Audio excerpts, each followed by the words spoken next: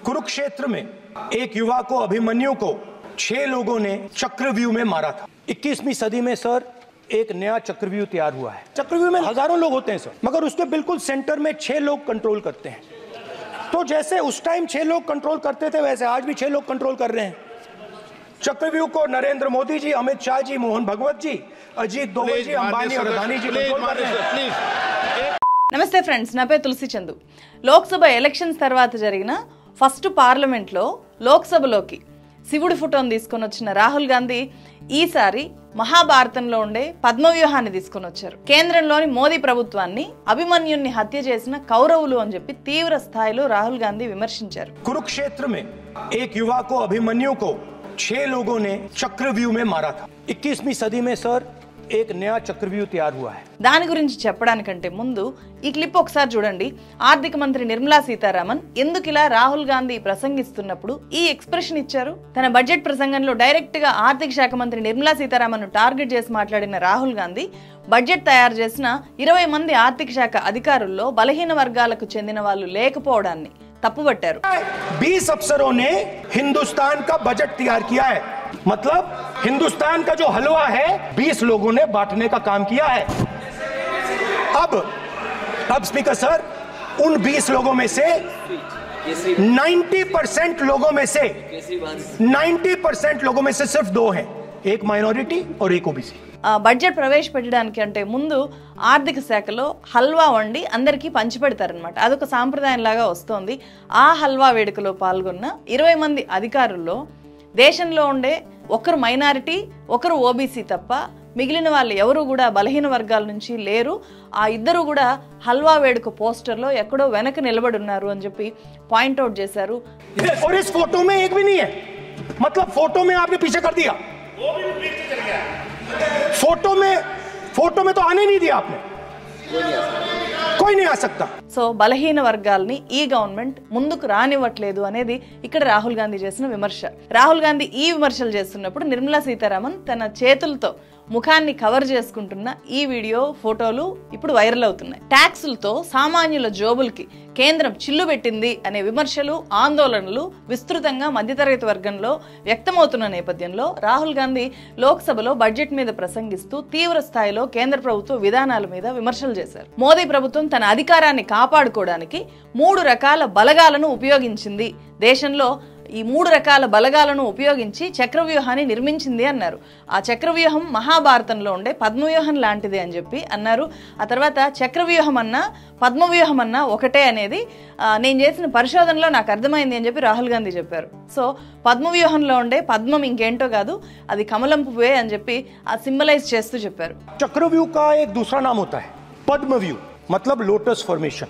तो जो चक्रव्यूह होता है स्पीकर सर वो लोटस के शेप में होता है कमल के फूल के शेप में होता है 21वीं सदी में सर एक नया चक्रव्यूह तैयार हुआ है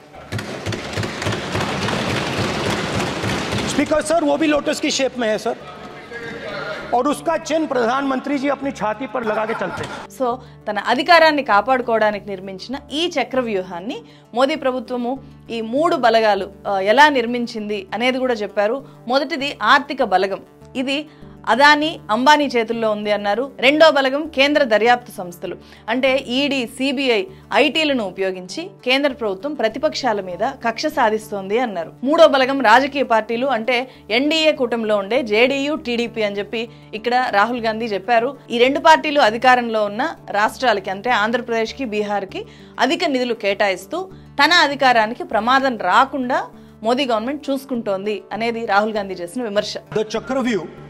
That has captured India has three forces behind it.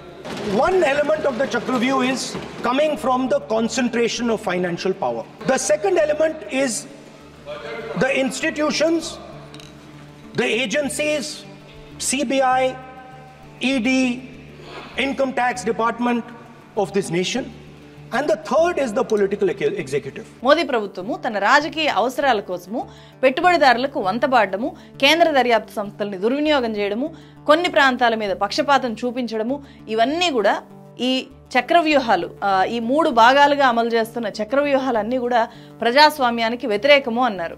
The sole aim of this budget is నియత్ it is to it is to strengthen the framework of big business monopoly business the framework of a political monopoly that destroys the democratic structure. ఆ కాలంలో ఆరుగురు వ్యక్తులు పద్మవ్యూహం బన్ని అభిమన్యుణ్ణి ఎలాగైతే హత్య చేశారో ఇప్పుడు కూడా అలా ఆరుగురు వ్యక్తులు ఉన్నారు ఆ ఆరుగురు వ్యక్తులు చక్రవ్యూహంలో ప్రజాస్వామ్యానికి వ్యతిరేకంగా పనిచేస్తున్నారు అనేలాగా వాళ్ళ పేర్లతో సహా రాహుల్ గాంధీ లోక్సభలో ప్రస్తావించారు. చక్రవ్యూహం హోతే మగర్ బిల్కుల్ సెంటర్ మే 6 కంట్రోల్ కర్తే హై.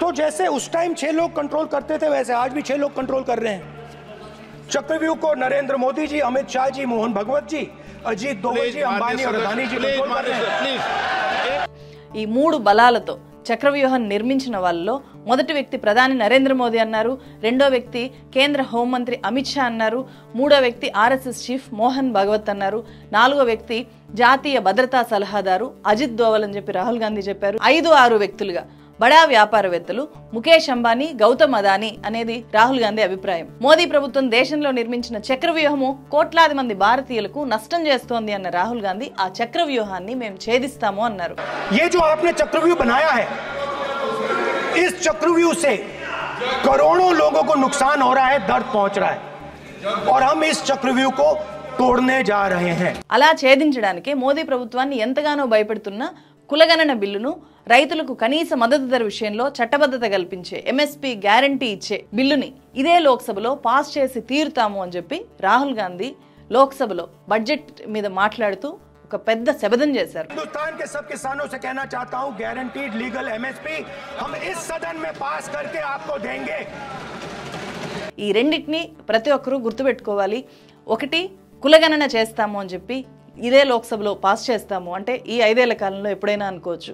అలాగే ఎంఎస్పికి గ్యారంటీ చట్టాన్ని కూడా తీసుకొని వస్తాము అనేది ఈ రెండు రాహుల్ గాంధీ చేసిన శబదాలు. గత పార్లమెంటులో ఇప్పుడు అంటే మొన్న ముగిసిన రాష్ట్రపతి ప్రసంగానికి ధన్యవాదాలు చెప్పే పార్లమెంటులో చూసినా ఇప్పుడు బడ్జెట్ పార్లమెంట్లో బడ్జెట్ సమావేశాల సందర్భంగా చూసినా ప్రధానంగా రాహుల్ గాంధీ స్పీచ్ని ఫాలో అయితే కనుక స్పష్టంగా అర్థమయ్యేది ఏంటి అంటే ఇంతకాలము బీజేపీ పాలకులు ఎలాగైతే మతాన్ని అడ్డం పెట్టుకొని రాజకీయం చేశారో సేమ్ అదే టైప్లో రాజకీయ వ్యూహాలను రాహుల్ గాంధీ ఎంచుకున్నారేమో అని చెప్పి అనిపిస్తుంది. గత పార్లమెంట్ సమావేశాల్లో రాష్ట్రపతి ప్రసంగానికి ధన్యవాదాలు చెప్పే తీర్మానం సందర్భంగా కూడా ఏ స్థాయిలో మాట్లాడారో అందరం చూసాం శివుడి ఫోటోని సింబాలిక్గా ప్రదర్శించారు లోక్సభలో. శివుడితో సహా జీసస్ గురునానక్ అల్లా ఫొటోస్ని తీసుకొని వచ్చి ప్రదర్శించారు. ప్రదర్శించారు. కాంగ్రెస్ పార్టీ భావజాలానికి వాళ్ళంతా ఎలా దగ్గరగా ఉన్నారో చెప్పారు. శివుడు అభయముద్ర ఇస్తున్నారు అది కాంగ్రెస్ పార్టీ అభయముద్ర అని కూడా చెప్పారు. ఈసారి మహాభారత ఘట్టాలని తీసుకొని వచ్చారు. అభిమన్యుణ్ణి చంపిన వాళ్ళతో బీజేపీ లీడర్లను పోల్చారు. పద్మవ్యూహంలో పద్మాన్ని కమలము అని చెప్పి చెప్పారు. అంటే బీజేపీ గత పదేళ్ళుగా ఎలాగైతే మతంతో రాజకీయం చేయడం చేస్తూ వచ్చిందో ఇప్పుడు బీజేపీకి అదే మతంతో కౌంటర్ చేయడం అనేది రాహుల్ గాంధీ ప్రారంభించారేమో అని చెప్పి అనిపిస్తుంది. शिव की बारात और चक्रव्यूह के बीच में है हम चक्रव्यूह तोड़ते हैं हम चक्रव्यूह तोड़ने का काम करते हैं ప్రతిపక్ష రాజకీయాల్ని మతపరమైన రాజకీయాలు ప్రతిపక్షం కూడా చేస్తే ఎలా ఉంటుందో రాహుల్ గాంధీ రుచి చూపిస్తున్నారు అని చెప్పి గత పార్లమెంట్ సమావేశాల్లో చూసినా ఇప్పుడు రాహుల్ గాంధీ ప్రసంగం చూసినా కూడా స్పష్టంగా క్లియర్ కట్ గా అర్థమవుతుంది రాహుల్ గాంధీ నిజంగానే చక్రవ్యూహాన్ని ఛేదిస్తాడా అమిత్ షా మోడీ లాంటి బలమైన వ్యక్తులు చాలా బలంగా నిర్మించిన మతం అనే ఒక పద్మవ్యూహాన్ని ఛేదిస్తాడా? లేకపోతే అభిమన్యుడి పరిస్థితే రాహుల్ గాంధీకి వస్తుందా? మీరేమనుకుంటున్నారో కామెంట్ చేయండి.